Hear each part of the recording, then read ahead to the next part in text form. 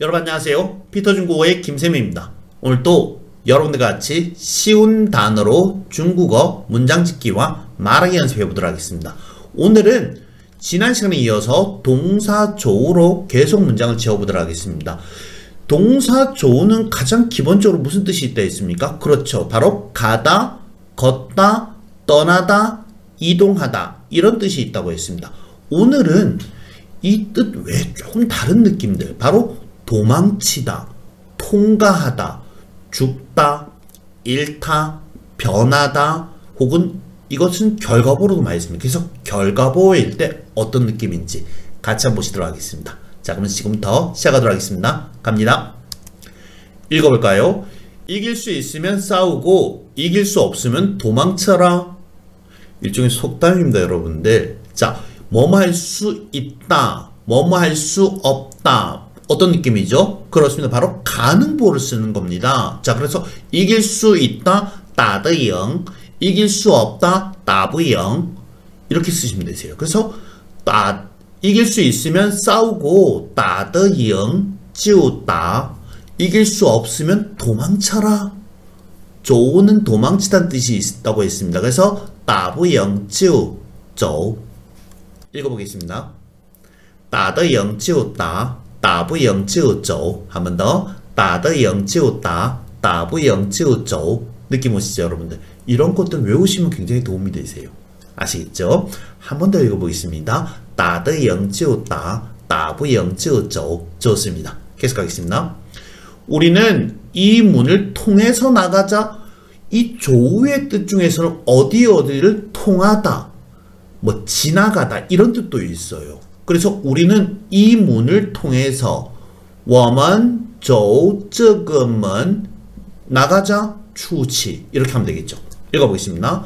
咱们走这个门出去吧. 한번 더. 咱们走这个门出去吧. 좋습니다. 우리는 이 문을 통해서 나가자. 이 조의 느낌 바로 뭡니까? 뭐뭇을 통하다는 뜻입니다.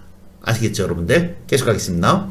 그녀가 세상을 떠난 지 1년이 넘었다. 바로 이 조의 뜻은 죽다란 뜻도 있어요. 그래서 그녀가 세상을 떠난 지 1년이 넘었다. 죽고 나서 지금까지 1년이 흘렀다는 뜻이죠. 바로 뭡니까? 실양보를 쓰는 겁니다. 읽어보겠습니다. 타졸러 2년 뚜얼러 한번 더. 타졸러 2년 뚜얼러 좋습니다. 이 조는 바로 죽다, 떠나다는 뜻이 있습니다. 이해가시죠, 여러분들? 계속하겠습니다. 결혼 후 내 몸매는 변했다. 결혼 전에는 예뻤었는데 지금 어떻습니까? 배도 볼록 나오고 이렇게 이렇게 됐다는 거. 바로 그걸 얘기하고 있습니다. 바로 뭡니까? 이 조는 이렇게 변하다, 망가지다, 뭐 상하다, 뭐 이런 뜻도 있습니다. 어떻게 말하죠? 같이 한번 보겠습니다. 자, 结婚后我的身材走形了.한 번 더. 结婚后我的身材走形了.한 번 더 읽어볼까요? 结婚后我的身材走形了. 좋습니다. 이런 식으로 조는 무슨 뜻이 있습니까? 변하다는 뜻이 있습니다. 아시겠죠, 여러분들? 계속 가겠습니다. 그가 그 책을 빌려갔다. 빌리다는 뭐죠? 그렇습니다. 찌란 뜻이 있어요. 그래서 이 조우 같은 경우는 결과보로도 많이 쓴다. 그래서 지의 저우 이렇게 하면 빌려 갔다란 뜻도 됩니다. 읽어보겠습니다. 타바나번슈 지에저라. 하면 더. 타바나번슈 지에저라. 좋습니다 여러분들. 이렇게 다섯 가지의 뜻을 가지고 같이 한번 해봤습니다. 이번에는 퀴즈 풀면서 다시 한번 읽어보겠습니다. 갑니다. 이길 수 있으면 싸우고 이길 수 없으면 도망쳐라. 도망쳐라. 그렇죠.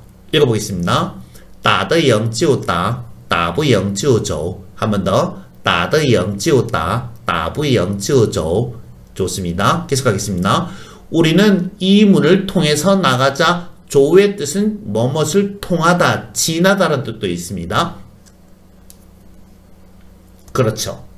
咱们走这个门出去吧. 한 번 더. 咱们走这个门出去吧. 좋습니다. 계속하겠습니다. 그녀가 세상을 떠난 지 1년이 넘었어. 어떻게 말하죠? 그렇죠. 他走了一年多了. 한 번 더. 他走了一年多了 좋습니다. 계속하겠습니다. 결혼 후 내 몸매는 변했다. 어떻게 하죠? 그렇죠.